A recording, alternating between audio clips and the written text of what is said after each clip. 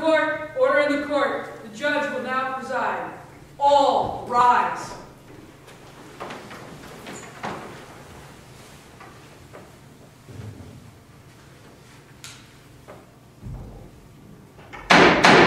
You may be seated. The Lord God has summoned the parties here to plead their cases, which contain accusations against the kingdom of Israel. Yahweh would like to know why you turn away and give your loyalty to human-made gods, and why you have lost your civility especially to those who do not look like you and who are in need. God wants answers. We all know that the Lord brought Israel out of the land of Egypt and redeemed the people living in bondage.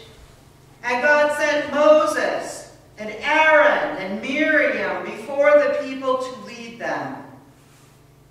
From that time onward, the Lord has saved the people again and again. And it is crucial that we remember all the saving acts of God.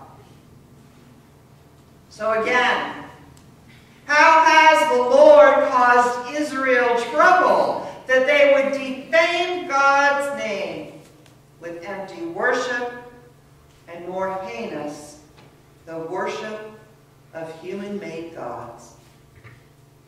This trial is to uncover the facts and then to make a judgment on them. Let us begin with opening statements. We will begin with counsel for the prosecution. I understand that the prophet Micah will be speaking for Yahweh. Micah, you are not of noble descent, and you are not from the northern kingdom. Is that correct? Yes, Your Honor. I am a common person from the foothills southwest of Jerusalem. I know the prophet Isaiah. The Lord God has also spoken to me and sent me as a messenger of truth. And for the defense of Israel is the high priest, Jeriah. Is that correct? Yes, Your Honor. Very well. Micah may begin with his opening statement. Thank you, Your Honor. If it pleases the court, Yahweh has a controversy with his people because they have forgotten his saving acts of old and what it means to walk humbly with God. The Lord is weary of the people who were, who were, were brought out of bondage in Egypt and led by Moses, Aaron, and Miriam. The Lord does not understand how the chosen people can turn their backs on the divine after being led into this land of promise. The Lord is perplexed that after all the times the people have been cursed and punished, God um, has turned those curses into blessing that the people would so disrespect this mercy in their selfishness and greed. It is you, Israel, you, who are responsible for the disaster that is coming. And most guilty of all are your leaders who have led you down this path. But you are not blameless as you have willingly followed. Counsel for the defense, you may begin with your opening argument. Thank you, Your Honor. If it pleases the court, I am honored to speak for the people of Israel. We have in fact not gotten all that the Lord God has done for us. We're human beings. Yes, we sin and fall short. Yet the Lord has given us a way to show our repentance. We offer sacrifices to the Lord and follow the rituals laid down by our ancestors to show God that we are sorry when we stray. What more does God want of us? Would the Most High be satisfied with thousands of lambs or with ten thousands of rivers of oil? Huh. Shall we give our firstborn for our sins? Huh. What does the Lord require of us than to do justice and to love kindness and to walk humbly with our God? We do this through our worship. Our priests do this by constantly being in attendance in the temple. We are fulfilling the obligations of our faith through our sacrifices. That is just the point. You say one thing through your sacrifices, but something completely different through your everyday actions. And because of that, your sacrifices are empty and affront to God. Would you have the Lord forget the treasures of your wickedness in God's very house? Would you have God acquit your own theft from the poor with deceitful weights? Rich men are full of violence. The people speak lies to one another without batting an eye. Order, I will have order in this court. If, if it pleases the court, I do not think the people of Israel understand what will happen to them if they do not turn from their wickedness. All that people have acquired, they will lose. They will eat and not be satisfied because their souls will starve. You will collect all your money, but you will not save.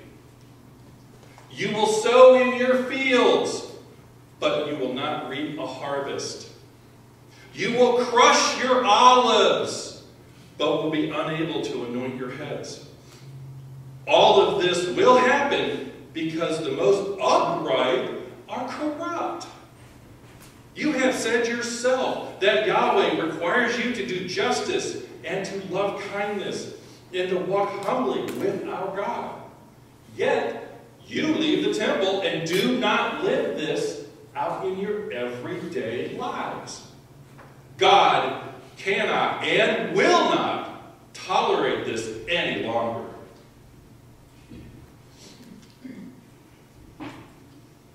You have no of this. Oh, oh, oh, really?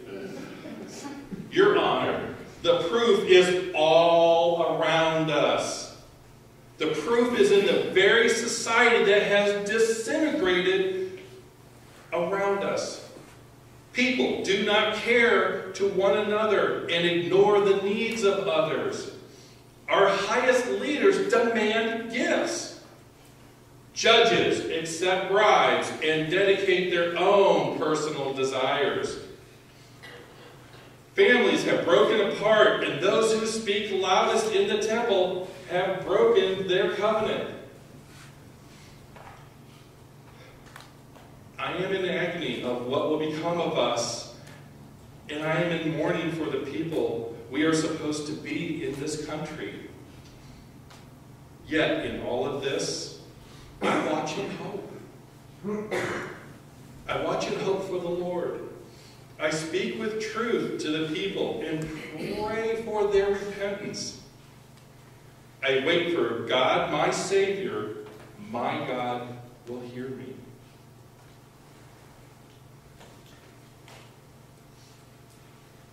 Does the counsel for the defense have anything to say to this? The prophet has made a case, Your Honor. We have fallen, we have sinned against God, and we will surely bear the Lord's wrath. It is up to us to repent and change. Only God can bring us back into the light. We are covered with shame.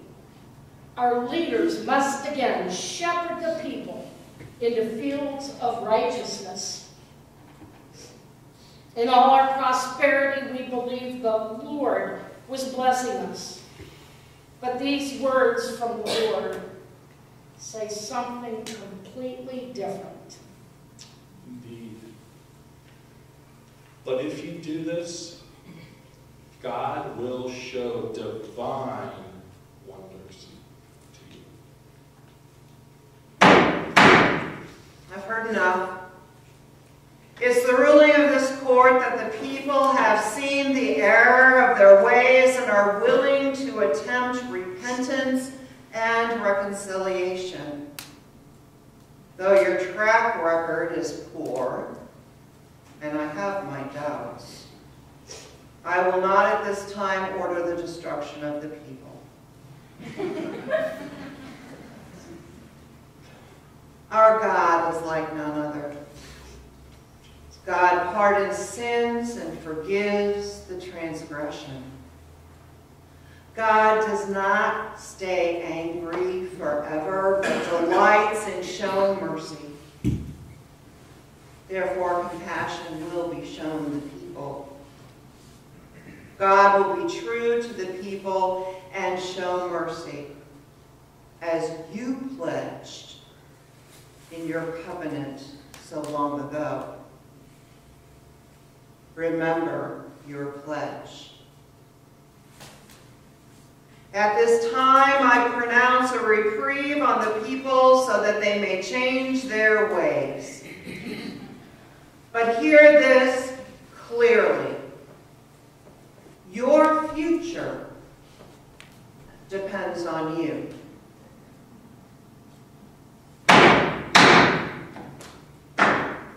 Court is now adjourned.